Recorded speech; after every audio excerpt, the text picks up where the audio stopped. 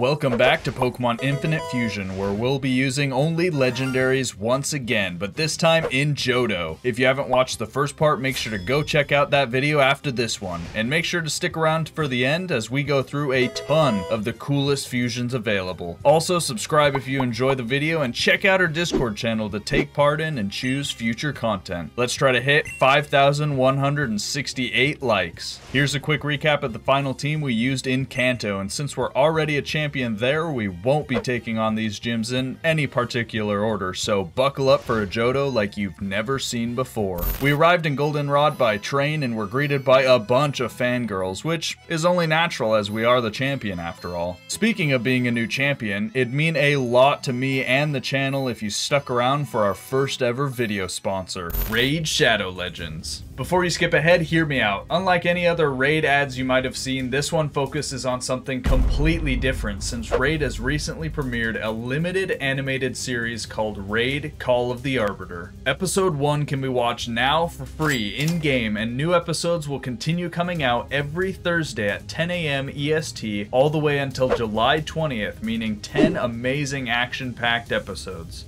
Now believe me when I say I was a little skeptical when I heard that a mobile game was creating an animated series, but the animation looks amazing and Raid never fails to impress with their stunning soundtracks. On top of that, one of my favorite things in any video game is the lore, and so alongside the series, Raid is also introducing champion bios. Champions like Galek and even fan favorites like good old Death Knight are going to receive depth, background, and lore, which I am super excited to dive into and learn more about. This is probably the most exciting time to try out the game as a new player and a perfect opportunity to pick it back up if you've walked away with all the awesome things that they are offering with this launch. Everyone who logs into Raid for 7 days between now and July 24th will receive Artak, one of the 5 new characters introduced in the show as a playable legendary champion for free. If you haven't started playing Raid yet, use my link down in the description or scan this QR code on screen to receive a free starter kit including all of this awesome in-game loot like Epic Knight Errant. Thank you guys for all of your support, it really helps out the channel, and thank you Raid for sponsoring this video.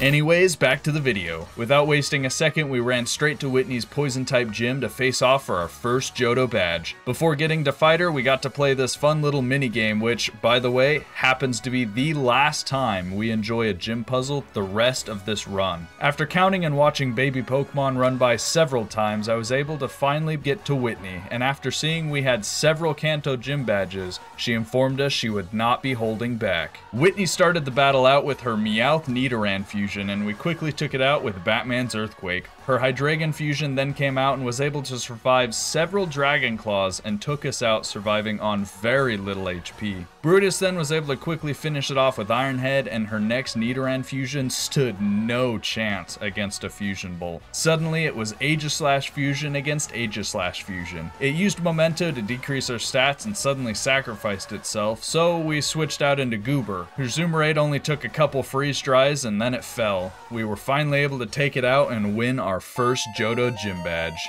Now since this was a new run, I decided it was time for us to go out and catch some new legendary Pokemon. Nearby the town we were able to find Dialga as well as a Jirachi and we added them to our team, which now meant it was time for new fusions. Dialga and Duskull made an amazing dead looking Dialga and Metagross looked like a sharper Metagross. Machop made this JoJo reference which let me know down in the comments if you know what it is. And I don't know why but I really like this Voltorb fusion and the Electrode looked super funky as well. Jirachi made this spider look awesome even though I absolutely hate spiders, and Breloom looked like this cute little sleepy boy. Drifblim and Jirachi made this amazing Chinese lantern, and this Entei and Entei fusion created an absolutely amazing mega flaming version of Entei. We finished the team off by adding Ho-Oh and Blaziken, which I believe is a Digimon, but I might be wrong. We also fused Suicune and Talonflame together making this aquatic bird and it was time to press on. We made our way south and battled a few trainers like this Arbok and Kyogre fusion and trudged through the forest full of Pokemon until we made our way to a town that looked like it was having issues with flooding. After talking to several townspeople, we decided to look into what might be causing the flooding. Near the water, I found this mysterious man that just got frustrated when I asked him what he was doing, and after bugging him a couple times, he eventually challenged us to battle. We defeated him easily as he only had a fairly weak Pokemon. After defeating Eusine, we found that he had put Shellders down in the well to clog the hole, which caused it to flood. And after talking to the village chief, we got permission to dive into the well and faced our first, but definitely not our last annoying Johto puzzle. We had to use strength to move these Slowpokes over to the Shellders, which turned them into Slowbros, but it was an absolute pain, and I had to go in again and again and again, and after over an hour of trying to figure out how I was supposed to move these boulders and slowpokes, I finally figured it out. I was able to turn them all into Slowbros, which cleared the way, and we were able to drain the well and turn the city back to normal. With the city now no longer flooded, we were able to challenge the second gym, and after navigating our way through this annoying spiderweb puzzle, we were able to finally challenge the fighting type gym leader, Kurt. It was at this moment that I realized that we were fairly underleveled and I had forgotten to heal all my Pokemon from the gym. So we sent out our Digimon to use Brave Bird and took out his 9-chant, but unfortunately he took us out with their Crabcross and close combat. We then sent out our Entei Fusion and realizing we'd sent out a Fire type against a Water type, we switched into Sweet Flame, who we quickly used to take it out with Acrobatics. Kurt then used his Metagross Fusion to take us out and using Hyper Beam he quickly finished us off. His Lucario Rattata Fusion was the last Pokemon that we saw as it took us out, which was embarrassing. After healing, I was confident that we'd be able to take on this gym with our current team. Kurt led once again with his Ninetales Fusion, and after using Psychic, he switched out into Metagross. We realized our Drifblim Fusion was doing almost nothing, so we switched into our Mega Entei, who managed to burn it and bring it to red before Kurt switched back into his Ninetales. We managed to get a flinch by stomping on it and then knocked it out. I was sure Entei was about to go down as it had almost no HP and Kurt had just sent in a water type, but I threw a Hail Mary and used Swagger. Somehow in confusion it managed to hit itself twice and it fainted, leaving Entei on the field to face off against his Metagross fusion again, which went down easily with Flamethrower. We then were able to snag a burn on Slachamp before fainting and sent out Sweet Flame to finish it off as it loafed around.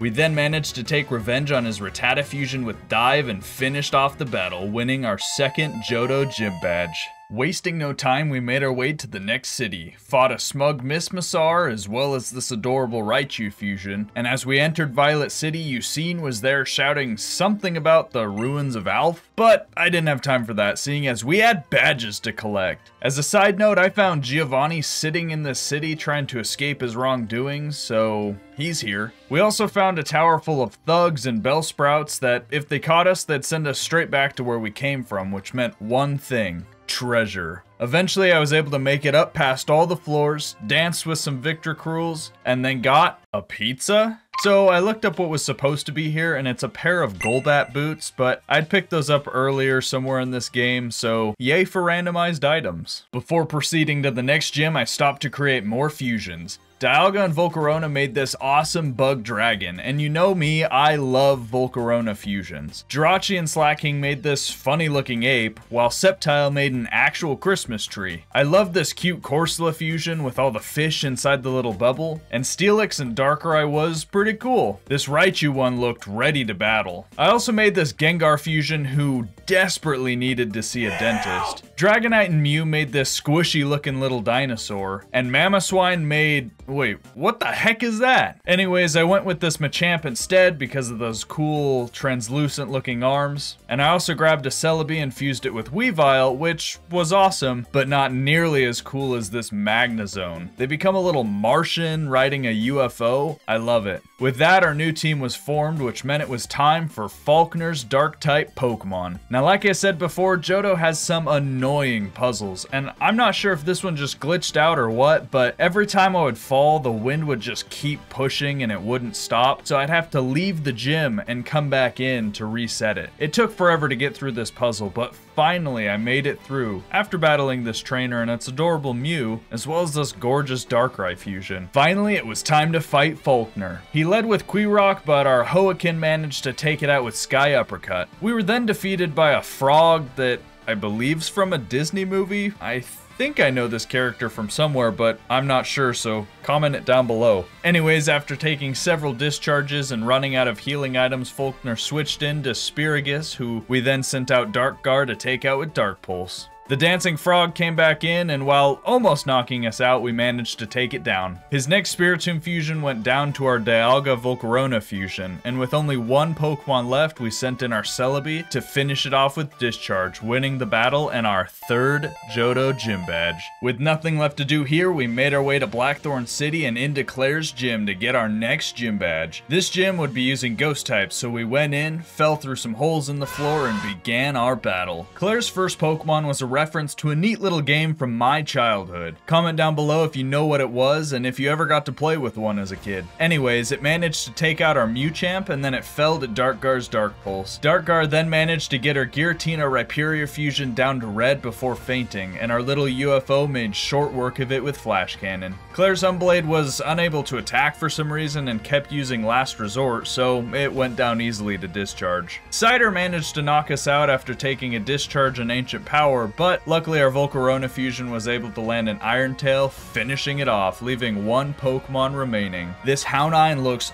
awesome. Roar Time barely failed to knock it out, so we fall to Dark Pulse. But luckily, the Corsola Jirachi was waiting in the back, and with Brian, we won our fourth gym badge, bringing us halfway to every badge in Johto. Now, when we headed north, we ran into some snowy mountains where those boots I mentioned before were gonna come in handy. And just like that, we continued on our journey. What a pretty area. Anyways, with four badges in hand and having arrived in Mahogany Town, I decided to look for more legendary Pokemon. I searched for over an hour before finally finding this Palkia Latios fusion, as well as a Rayquaza Sneasel fusion, adding two more legendaries to the team. Lucario and Rayquaza looked amazing, and Garchomp just became a mashup of both of their mega forms. Gyarados and Rayquaza made Kaido from one piece, and its reverse fusion created this amazing looking dragon. I also really loved Golem's fusion because it looked like some wise old golem using magic. I fused Latios with Moltres, as well as Mamoswine with Jirachi because the Corsola fusion was just not strong enough.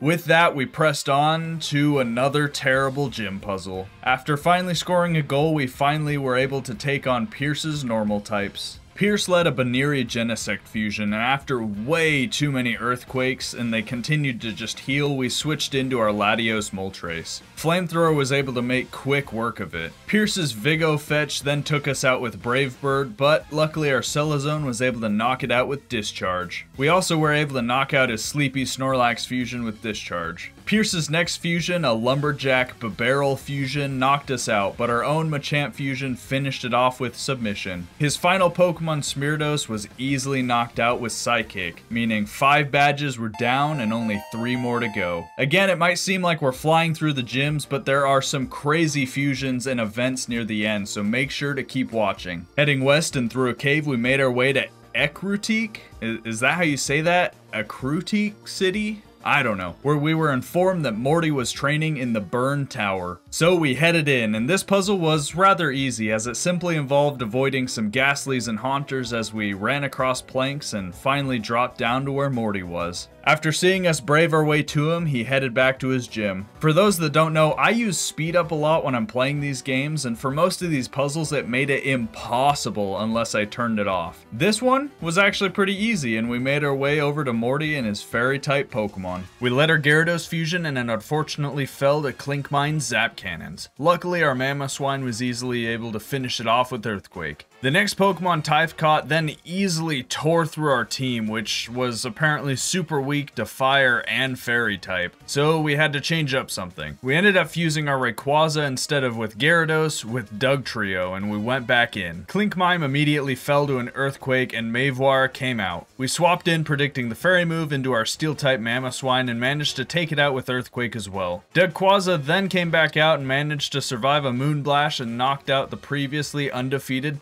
Tithe Cop. Now the game is set to only have trainers using custom fusions, so I'm not really sure why this looks like that. But even as goofy as it looks, it somehow managed to take out Dugquaza as well as Giraswine. Mewchamp then came out and knocked it out, relieving us of looking at it any longer, and his final Pokemon, Toadcross, fell quickly to Psychic, winning the battle. I decided to take a look around town and ran into Alder, the champion of Unova, watching some dancers. And after trying to talk to him, he told us we had to defeat each dancer first. They were easy enough to defeat, and after completing this task, Alder rushed forward, finally recognizing us as the Kanto champion. He then informs us that he's supposed to be investigating some mysterious appearance of the Unova legendary dragons in a nearby tower, and instead tasks us with going and finding them. He's really living up to his title of lazy champion. Regardless, this was the perfect opportunity to go grab some new legendaries, so we made our way through this horrible bell tower puzzle where you have to maneuver through the darkness. Yeah, I won't torture you with any more of that, but at the top we found a vortex that reacted to the stones we had been given by Alder. We reached our hand in and out came a Reshiram fused dragon Pokemon. We quickly threw out our Master Ball because we ended up burning it and I wanted these legendaries. Now time for a lot more fusions. Cofagrigus and Reshiram looked super cool and Empoleon became this like flaming king. Rapidash and Reshiram made what was probably the coolest horse fusion in existence. Hydreigon made this behemoth of a three-headed dragon. Haxorus and Celebi made this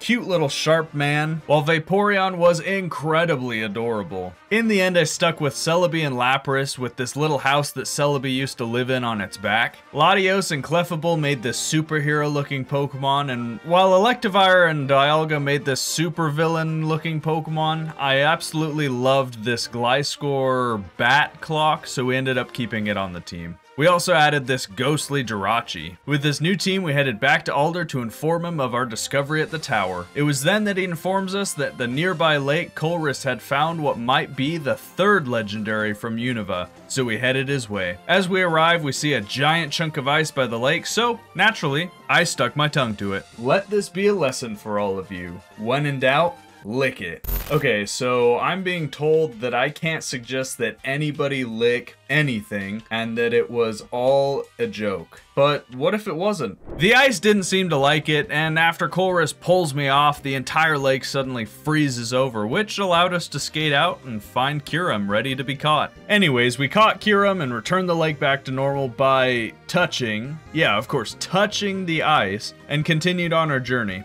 We made it to New Bark Town where we were able to finally talk to Professor Elm. It was then that he informed us that the final two gym leaders were away on the Sevii Isles, and after looking at some lame options for starters, we headed back to Kanto. We took the boat to the Sevii Isles and began our hunt for the final two gym leaders. We had to battle a ton of trainers on our way. This one had a Nurse Lucario, but eventually we managed to find Chuck sitting underneath a waterfall, and after seeing who we were, he quickly hopped over to one side of the arena and challenged us to a battle. Chuck led this amazing Jirachi Lucario fusion, and after a few earthquakes and healing, we finally took it out. His next Pokemon, Manloon, caused some issues as it used bounce to knock out our Lapras fusion. Luckily, it switched out when we sent in Reshigang, and Torchop quickly fell. His next Pokemon knocked us out quickly, and it nearly defeated our Hero fusion as well. Farbuskin then finished us off, but fell quickly to a future sight from our ghostly Jirachi. Manloon came back out to finish us off, so we sent in Dialcor to Swords Dance all the way up and use X-Scissor to finish the battle, defeating Chuck. Looking to bounce on his way over to us. While we were exploring, we found a man who said he had gone camping with six kids in the woods. Kinda sus. But the fog rolled in and he had lost them. So we went to help him find them. After finding one who said they were playing hide and seek, we backtracked several times, finding a new kid each time. I felt like I had either gone completely blind or they only appeared one at a time. Anyways, after gathering all the kids, we counted and had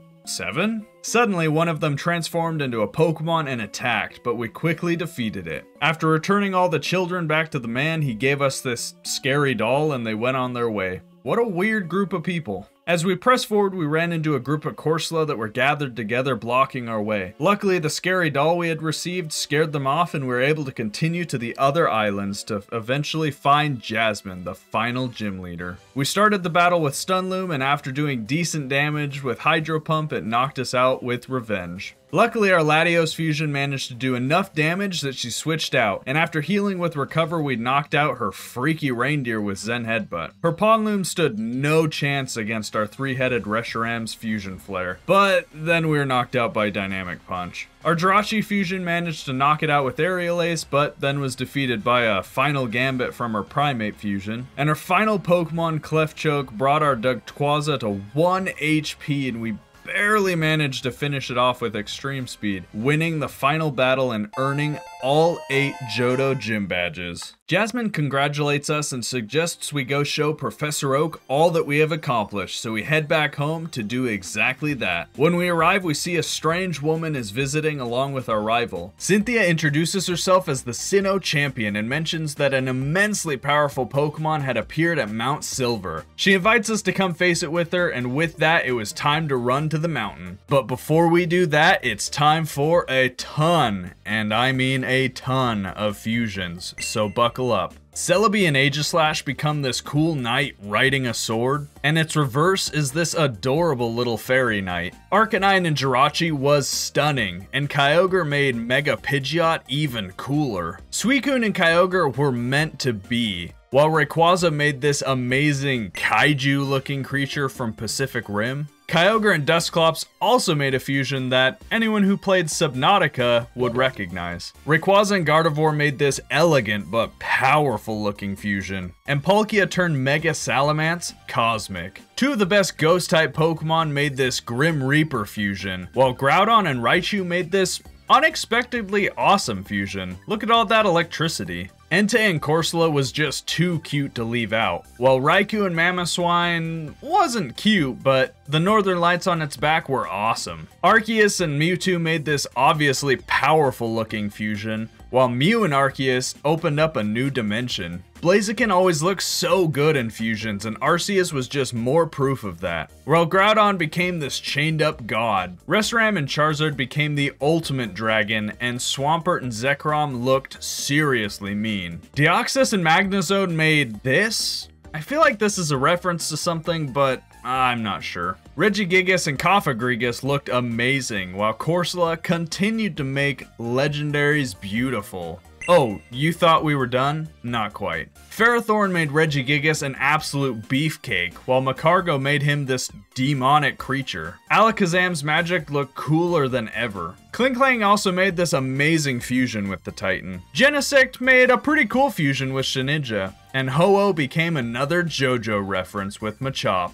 Now the final four are all on the team. Arceus and Giratina made this evil god I just had to keep and Zekrom with Scizor became an absolute monster. The last two are custom fusions that I made in honor of a recently popular game. Machamp and Darkrai made Ganon from The Legend of Zelda, and Dialga and Gallade made the Hero of Time Link. Let me know what you guys think of the new custom fusions like Ganon and Link, and if you want to download them yourselves, make sure to check out the Discord as members and Patreons of the channel can download these as well as any future custom fusions that we make. We're planning on doing a ton of future content involving making fusions that are suggested by you guys, so make sure if you're interested in that and you want these fusions to join in. With that, our new team was born. Here's a quick recap. Comment below if you know what their nicknames reference. As we pushed on through the mountain, through the snow, and the dark cave, we finally came to where Cynthia was waiting. Having gone ahead, she'd seen the powerful Pokemon and was fleeing, not wanting us to go on. In true hero fashion, we battled her to let us forward to face the challenge ahead. Our demise quickly fainted due to a hurricane and confusion, so Cosmo had to come in and finish off her first Pokemon. Unfortunately, her Shandalcross then easily wiped out our entire team with ease, leaving only Dinraal left to beat it with Surf. We then defeated the next several Pokemon using Shadow Force and Surf, barely winning the battle with our evil god. Cynthia graciously heals our Pokemon and we head forward. Suddenly, we're overcome with this heavy weight, and even with speed up, we slowed down to a painful crawl as we head towards the source of the power. Finally reaching it, we find that it was a triple fusion of Dialga, Palkia, and Giratina, all with their own health bars,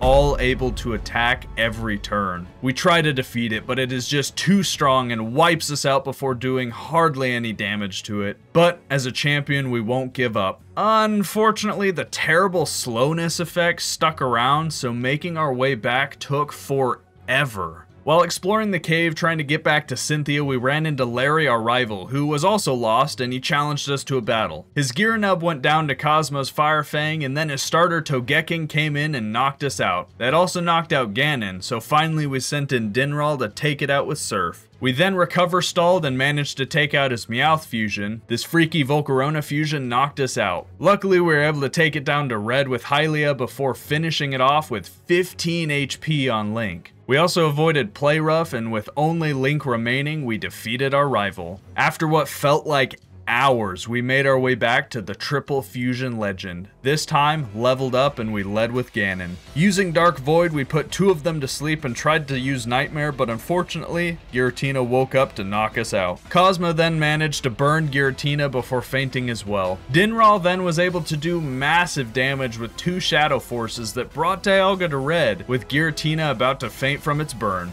Unfortunately, Demise fainted immediately to a Roar of Time, but Hylia was able to finish off Dialga with Moonblast. Giratina then fainted from its burn, and she was able to bring Palkia low enough for Link to come in and Roar of Time Palkia, defeating the monstrous fusion. As we reached our hand out into the void that then appeared, we seemed to jump forward into the future. Suddenly, Gold appeared to challenge us. What a fun twist of events. Ganon managed to take out his first Pokemon, but fell to Rocky Helmet. Then, Cosmo eventually fell to his Gardetto due to heal stalling. Luckily, Demise took it out with Fusion Bolt, and Dinraal quickly took out his Rapish with Shadow Force. Zapbok managed to survive Aurora Time and take out Link with Drill Peck, but Hylia came in to finish the job with Psychic. Sepom proved to be kinda hard to take out for Hylia and she fell. Luckily, Demise was waiting in the back with an X-Scissor with his name on it. Gold's final Pokemon was this Milotic Vaporeon fusion and with two fusion bolts it fell, defeating Gold. And suddenly we were teleported home.